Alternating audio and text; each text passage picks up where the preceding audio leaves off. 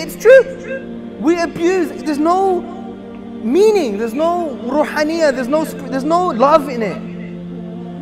And now he talks about this and he says, do dhikr slowly. When you say subhanallah, feel subhanallah. When you say alhamdulillah, it means alhamdulillah, you're feeling it, you're not thinking, Baby, you can call me a superman. Man. Hey guys, welcome back to our channel. It's your boy Jessy Kigen your girlfriend Elungo. and we are finding Jesse. So right about now we're gonna do another reaction and this one right here was suggested by a lot of people and they suggested that we should go react to when you say Al Alhamdulillah, feel Alhamdulillah. So uh, without any further ado guys, let's get it.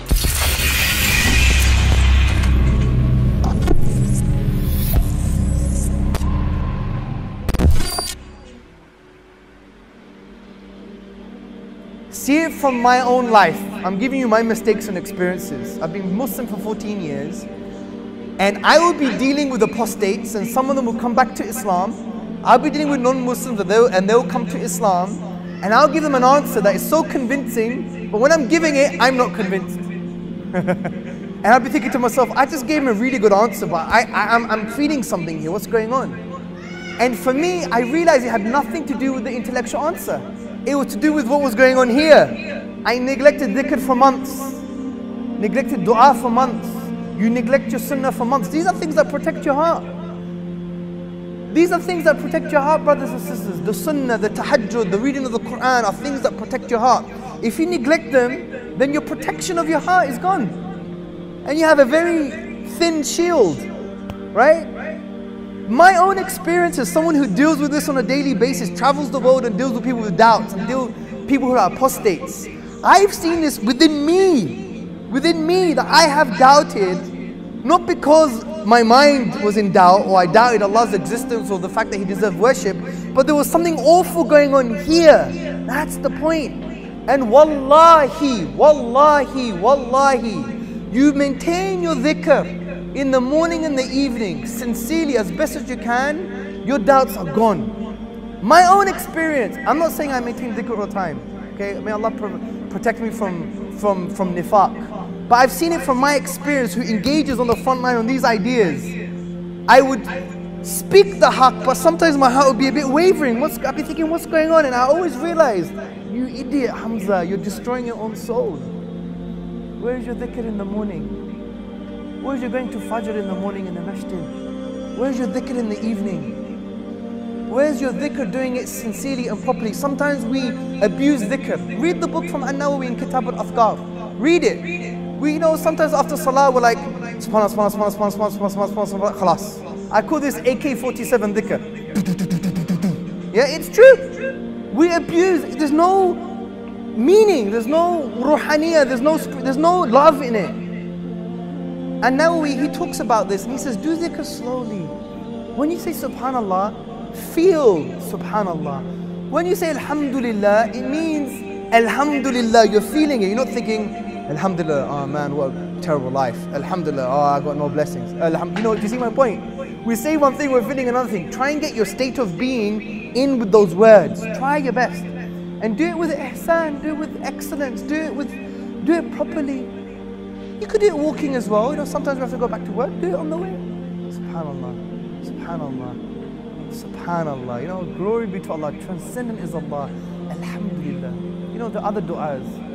رضيت بالله ربا وبإسلام دينا وبمحمد صلى الله عليه وسلم نبيا I am content with Allah as my Lord, with Islam as my religion, with the Prophet Muhammad صلى الله عليه وسلم as, as my Prophet.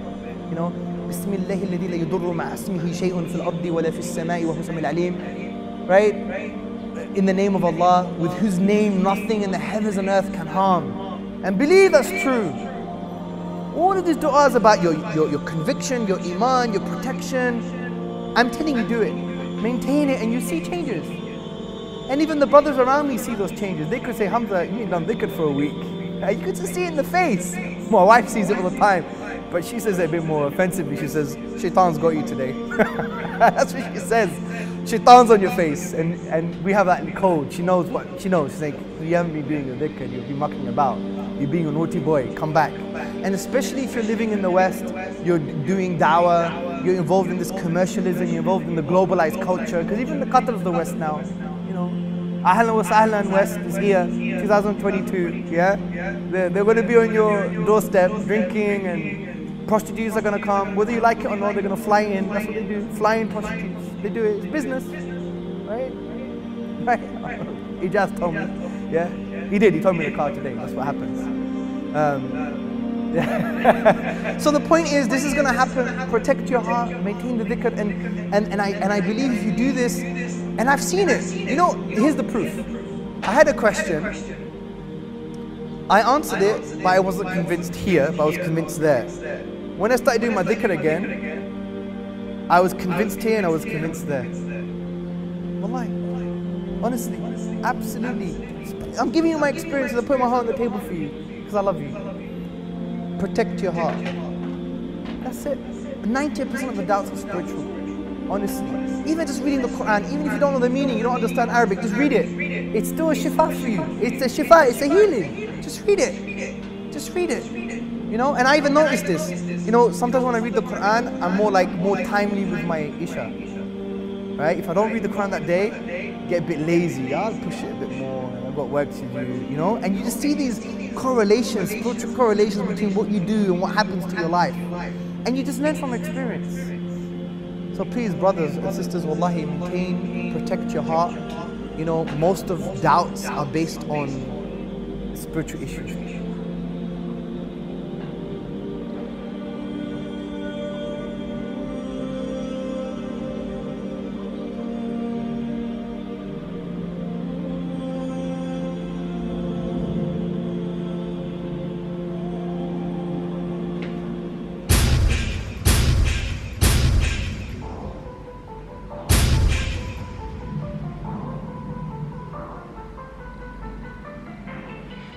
All right, what do you think?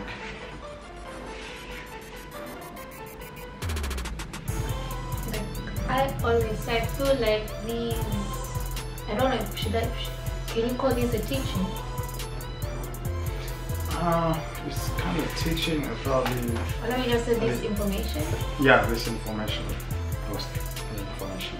I feel like you can practice this in your daily lives.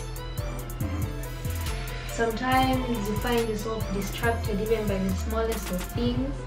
Mhm. Sometimes you feel like let me just say some some people find that when they forget to pray a lot of things go wrong in their lives. But when they pray everything is straightforward. He made a certain point, what was his main point? Let me get back to that. There's a point you said like um, even if you don't know how to read Arabic, when you just read um, the Quran, I mean when you just read it even without understanding, that's that's already a healing. I mean that's I mean that meant a lot, but uh, you need to understand something for you to to actually um, you need to read for you to understand the information that is passed through. No, but from what he was saying, I feel like he was saying sometimes um, you can find healing in maybe things that you love to do. Yeah. For some, it's reading the Quran. They Mhm. find peace. Now you find peace. Some may pray. For you, you may find peace in music, Mhm. in novels, in your work, whatever it is. But he referred to the Quran. Like that's why you can really find whatever you're looking for. It can help restore your faith and everything else.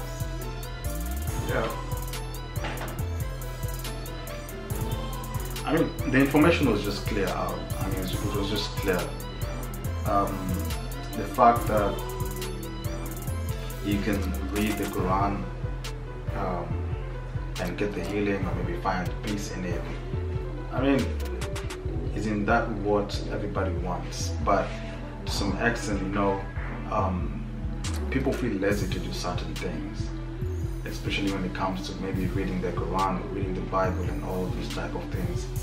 I think it's, uh, I think it's just laziness or maybe procrastination or something because you just have to put your discipline all together and just read all these things to, to uh, probably understand and um, follow the teachings in your daily life or something. You have to understand and practice at the same time. Yeah, understand and practice. What I like is that um, most of them they they actually practice it, and I like the fact that yeah, you know, I kind of think that the reason as to why these people are, um, are successful or something like that, like most of them, I think it's because of the discipline and uh, maybe praying and manifesting for what they want. If they can pray five times, imagine you're repeating the same thing five times. It's easy for you to mani- no, like it's easy for you to manifest anything. What do you think? Because you're focused. Yeah, because you're focused, and it's hundred percent true. Because imagine if you're not praying or manifesting like every day, maybe you do it. Okay, once is also it's, it's not bad, but look at these people like five times a day. Come on, tell me what is it that you'll never achieve or never get through your manifestation? But that doesn't mean they also don't lose focus. Yeah, exactly. Once in a while, you find yourself. Yeah, I mean, some lose focus. I know a lot of them that lose focus. Yeah, it just depends with your your consistency and your mind and all this type of thing. Overall, the video had a nice message and, of course, simple to understand. Yeah, it was just uh, surface matter. I mean, it's you can easily understand what was passed on. Yeah, I mean, Just reminding you not to forget the important things in life. yep, very very important. When you wake up in the morning, make sure to thank um, The creator. your creator. When you sleep in the evening, make sure you thank your creator. Manifest the things that you want to do, that you want to get or do tomorrow in the morning. I mean, all these things should be practiced. Anyway, guys, if you feel like we've reacted to this video in a better way, just give us a thumbs up and don't forget to go down our comment section and tell us exactly what you feel about our reaction and what do you feel about um, this video right here when you say Alhamdulillah. Uh, you feel Alhamdulillah. What do you think about this video? If you have more information, just let us know on the comment section below and according to my knowledge what does alhamdulillah mean peace upon you i think it's peace upon you I have no idea what it means. What I wanted to say earlier when I made my first point was what you think is what you should feel. Sometimes you say, he said it in the video, sometimes you say, by mouth you can say I'm blessed, but in your mind, yeah you exactly just so you know, oh, I'm just saying this for the sake of saying it. yeah true you can just say it with your mouth but inside your mind is not exactly what you say you get your mind is just thinking of something else Yeah, so You think it. it, just like you can it and act like you're blessed. Yeah. Just like you can be in class, you can be looking at the teacher. teacher mean, maybe the teacher will be like, "Ah, "This guy is really concentrating," but your mind is just somewhere else, like far away. The same thing, like it normally happens. You can be praying at the same time your mind is not there. I mean, all these things you just have to be. You have to align your thoughts with your your um, speech or whatever thing that you're trying to say. That's a better way. I mean, it's really, really important. And the most important thing, guys, don't forget to subscribe to our channel. The more you keep on subscribing, the more you give us the motivation to do a lot of videos and to give you better, better content.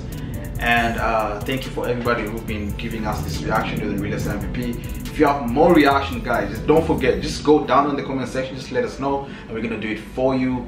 And we want to get to 10,000 subscribers. And at this rate that we are going, trust me, we're gonna get to 10,000 in two days. Thank you so much, guys, and we'll see you in the next video. And peace out.